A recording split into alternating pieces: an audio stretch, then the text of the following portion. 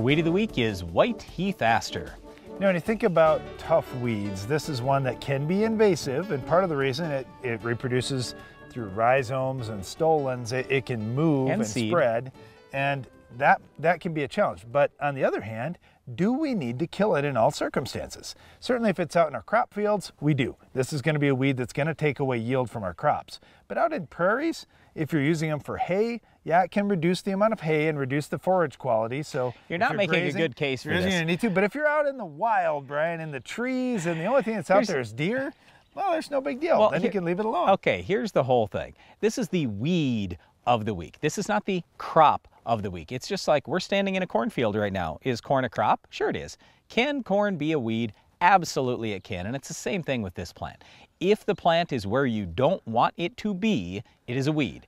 If it's where you want it to be, now it is not a weed. All right, we're not trying to eradicate this plant from the earth. We're just trying to get it out of our crop fields. And to do that, And pastures. it's going to take a pretty nice approach here. With a perennial like that, you're going to have to use something like Roundup that'll move down into the root system to take out those rhizomes and stolons. Otherwise, you're just going to be burning it off and it's going to keep coming back. Okay, but here are a couple of common mistakes that happen. Number one, people use tillage, then they go spray the Roundup. Well, that's not going to work because you're going to cut the rhizomes and stolons, and now new plants are going to come up from that. You can't do that. So leave it untilled.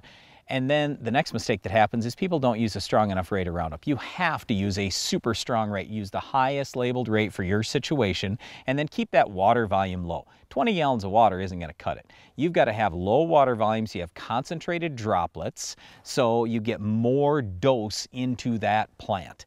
And a lot of times, if you're out there early in the spring, it's not very big. There isn't anything else growing around it, so you don't need 20 gallons of water. You don't ever need that with Roundup, in my opinion. So just keep that water volume low, Roundup rate high, don't do tillage, then you'll get it under control. Otherwise, none of our pre's in corn, soybeans, and wheat are going to do anything other than just burn off what's above ground. Yep. In crop, in corn, I really like status. That'd be our best shot.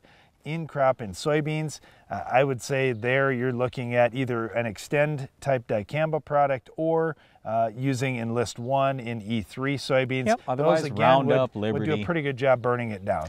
Yep, in wheat, I'd probably just use Huskie again. It's not going to kill the whole thing, but at least it'll burn it down a little bit. Then we get to the non crop or pasture areas. We really like Distinct, that would be our favorite. Otherwise, I would go out there with some dicamba, 2,4-D, and all those basically are going to give you burning it to the ground activity. If you want to totally kill the root system, Tordon is probably the better way to go. But keep in mind, Tordon kills fish, Tordon kills trees. Yeah, so you get some challenges there, but our weed of the week is not an easy one to stop. It's white heath aster. It's all time we have for this week's weed, but Iron Talk is coming up next.